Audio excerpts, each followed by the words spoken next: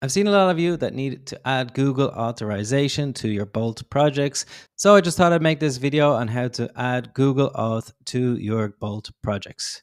Let's get into it. Okay, so to get started here, we want to go authentication in our Supabase and go to sign in providers here. And all we need to do is find Google here. So where is it here? There it is now. So we click on that. And now we want to enable uh, the sign in with Google. So we need two things here we need the client IDs and the client secret. So let's find out how to do that now. We go to console.cloud.google.com. I'll leave the links and other things you might need in the description down below. So this is what you need to do. You need to create a project, right? So I have one for this project that I'm working now, Viva Lingua. And we need to go to APIs and services and OAuth consent screen. Okay, so let's get started here. So for this, you just want to put in the name of your app. So my app is called Viva Lingua. And then you put in your support, your regular Google email in here. Okay, we want the audience, we want it to be external so other people can obviously um, sign up with their Google accounts, and then we just put in our contact information with uh, which is our Google email again here, and then we say I agree to the Google API services and continue. Okay, so now we are in the overview here, and we want to create an OAuth client. So the application type here for me is a web application. Okay, so it's called Viva Lingua here. Okay, and we need to add some URLs here from our Supabase. So to find this, you want to just go to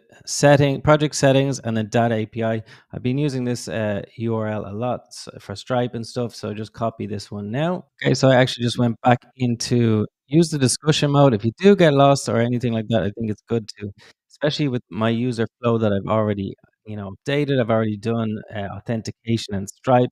So in this case, I don't want this to mess up anything. So I'll be using this discussion mode to make sure I get everything correct. Okay, so I also asked Bolt to give me the authorized redirect URLs.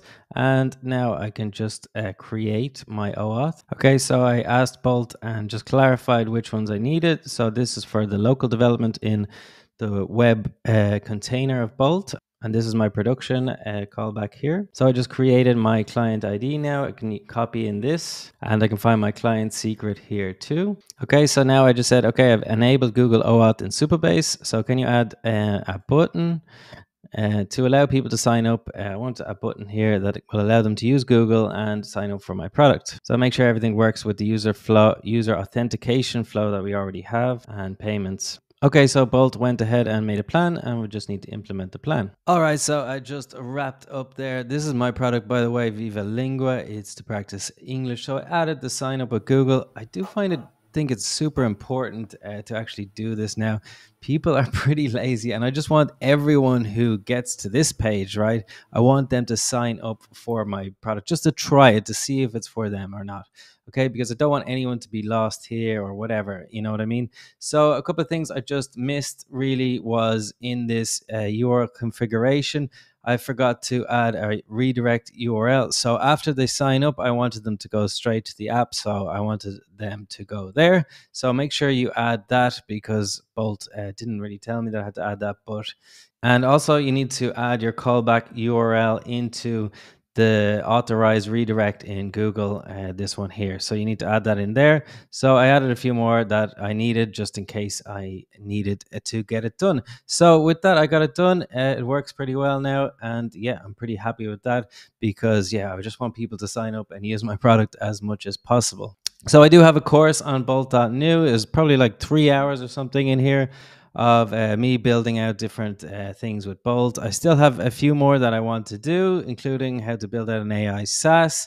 Uh, I've noticed that people are struggling a little bit with kind of uh, technical things like this. So I've learned a lot building the Viva Lingua. I built this course platform as well in Bolt. Uh, so I just thought, yeah, I think maybe I'll add a few more technical tutorials more about Supabase. I've learned so much about Supabase. Obviously, there's just a lot to learn. I mean, just finding different things when problems arise in Bolt.new, right? And yeah, I think Supabase and Stripe are the kind of the two hardest things to do.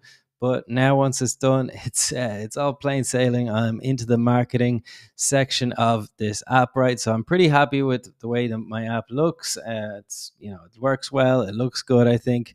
So now it's just all about marketing. I'll definitely uh, be making videos about marketing tutorials. I'm going to make products in Bolt to market my products. Uh, well, in this case, this is the product that I'm obviously going to be marketing mainly. So subscribe to the channel if you want to see more videos like that.